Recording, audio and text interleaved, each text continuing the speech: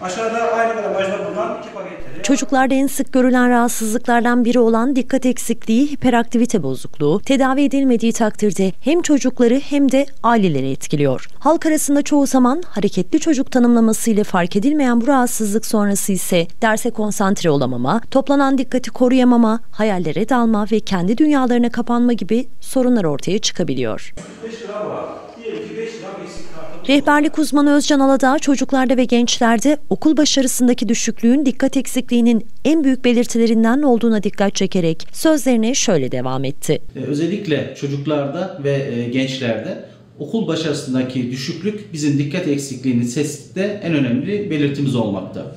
Anlatılan şeyleri sonuna kadar dinleyemeyen, e, çok konuşan ama karşındaki e, insanın, e, çocuğun konuşmasını bitirmesini beklemeyen ve e, aşırı hareketlilik olduğunu söyleyebiliriz. Aladağ tedavi yöntemlerine de değindi.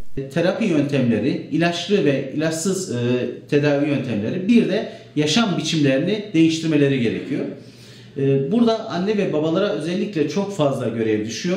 Öğretmenlere çok fazla görev düşüyor. Buradaki çocukları çok iyi tanımalılar ve bu çocuklara eğer bir tıbben tanı konmuşsa bu tanıya göre hareket etmek durumundalar.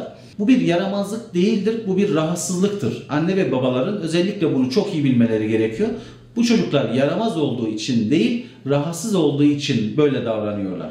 Bu nedenle kesinlikle bir doktora bu anlamda gidilmeli ve bu doktorun tavsiyeleri noktasında tedavi yöntemlerine başvurulmalı. Çocuğun takibinin yapılması gerektiğine dikkat çeken Aladağ, ebeveynlerin öğretmenlerle ciddi bir dirsek temasında olması gerektiğini ifade ederek şunları söyledi. Egzersizler çok önemli, beslenme çok önemli, uyku düzenleri çok önemli ve çağımızın en önemli hastalığı teknoloji bağımlılığı. Bu dikkat eksikliğini de artırmış durumda. Hem çocuklarda hem de yetişkinlerde e, teknoloji bağımlılığının belli bir noktada tutulması, teknolojiye olan zamanın kontrol altına alınması gerekiyor.